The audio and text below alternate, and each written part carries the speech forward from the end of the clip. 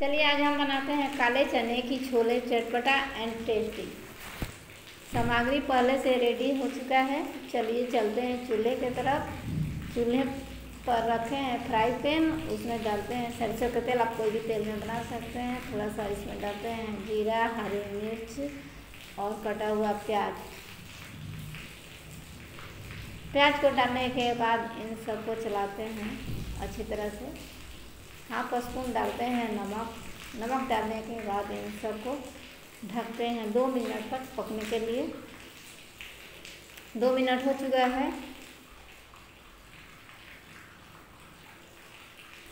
अब इसको चला लेते हैं और इसमें डालते हैं गार्लिक जिंजर का पेस्ट। डालने के बाद इन सबको अच्छी तरह से मिलाते हैं।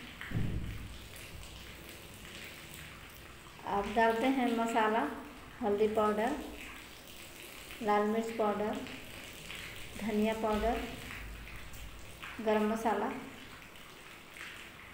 और नमक डालते हैं स्वाद अनुसार।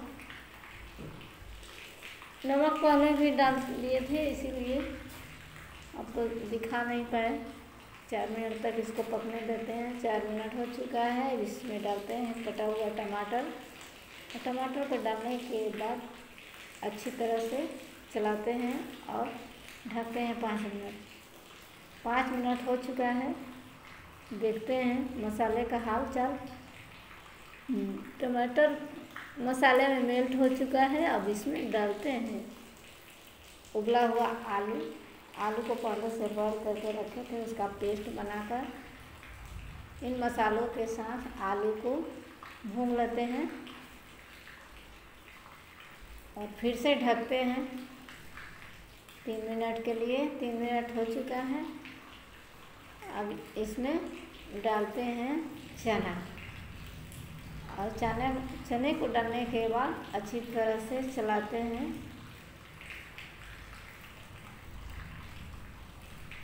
मसाले के साथ मिक्स हो चुका है। अब इसमें डालते हैं पानी। पानी डालें, थोड़ा सा ज़रूरत के हिसाब से पानी डालें। दो मिनट तक पकने देते हैं। दो मिनट हो चुका है। छोला बन के रेडी हो चुका है। चूल्हे को करते हैं ऑफ़ अब इसको ठंडा होने का इंतज़ार करते हैं।